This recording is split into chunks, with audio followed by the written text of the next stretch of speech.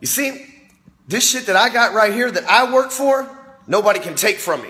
And chances are you are a lot like I am. So let me share a story with you that'll actually make your day and make it feel like everything that you've done the hard way in your life was totally worth it. Stick around.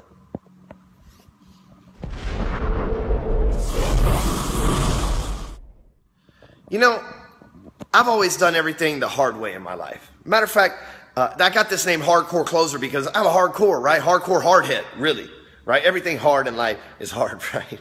really hardcore hard hardhead. And so the reason why I tell you that is because I've done everything the hard way my entire life, which means I don't owe anybody shit. You see, everything that I've got right here, I worked for right? Nobody can, I don't owe anybody any favors. Nobody can say, oh, he married into money, or oh, he, he was born into money. Oh, his parents are rich. Oh, his girlfriend's parents are rich. Oh, he got money because he knew XYZ, or, but they can't say none of that shit, right? I even, matter of fact, like, I even, just to show how big of a hard head I am, I wrote a book that was the number one bestseller until I pulled it down. It'll be back up soon, but it was a number one bestseller for like seven days in a row on Amazon without me even promoting it just to show in this book how hard headed my life had been.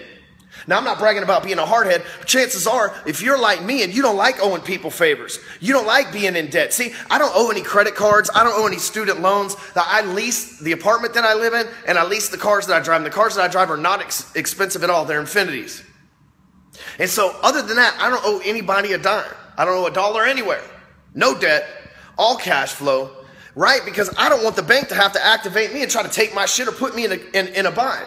Same thing, I don't owe anybody money. I don't owe any of my mentors money. I've always paid up front. I don't owe any programs, anything like that. The thing is, right, when when I'm, I'm in a situation that somebody might need me, might need a favor from me, I don't want to have to owe them shit. See, I've got what I've got, and nobody can take that from me. You can't fake this shit. You can't fake this experience, this knowledge, this expertise. You can't fake this shit. You know? And those of you out there doing shit the hard way and you look at other people and you're like, that dude caught a lucky break, or my fucking coworker, man, he got that one account. That's cool. I'm not knocking those people, but there's a lot of us out there that are doing shit the hard way, that don't have, like, for example, MSAs, that don't owe somebody money, that don't have to pay to play, all these things, right? There's no favors. There's no way that they can, like, MK Ultra style activate you at one point or another. I want to tell you, keep it up. Because when you finally do get to the top of your game or reach your goal or whatever it is that you're shooting for, and the fact that nobody can take that shit away from you is one of the most fucking liberating and empowering feelings you will ever experience in your entire life.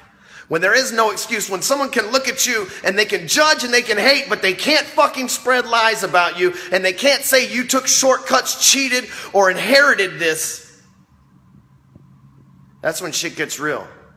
When nobody can talk behind your back, and in my case, and say, oh, well, he's a felon. I don't give a fuck. Everybody knows I'm a felon that's ever asked. It's in a book, it's on the website. Right? Liberated, empowering. When you live that shit true and you don't take shortcuts and you don't owe anybody favors, and you don't take handouts, and you do what you're supposed to do, and you stay on that grind and you arrive at the top, can nobody fucking knock you down for being king of the mountain. So for those of you out there grinding, hustling, doing everything the hardcore, hard head way, It'll pay off one day for you. It's going to be hard, and it's not easy. And the tendencies to cut corners and shit are always going to be there. But I can promise you this when you do arrive at your goal, there ain't a better feeling in the world. Trust me, there ain't a better feeling in the world.